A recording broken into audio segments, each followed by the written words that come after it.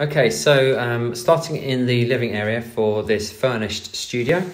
Um, it's on the second floor of a double glazed block. You've got flats above and below, left and right, so you'll only lose heat through the window. Um, there's electrical heating here, which is programmable, um, and uh, the furniture that'll stay is the table and chairs, bed, and mattress.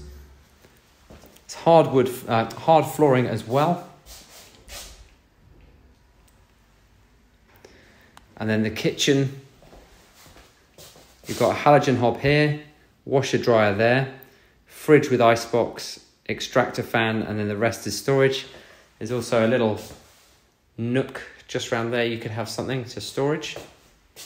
Just another angle. There's also a communal bike store which all residents can use. And then we have uh, ensuite shower room. You've got storage uh, behind the mirror, as well as storage below the sink. And then the shower, got a shower cubicle just here. And then finally, there's a storage cupboard with some cleaning equipment that will come out. And there's also a rack just here, ideal for winter coats.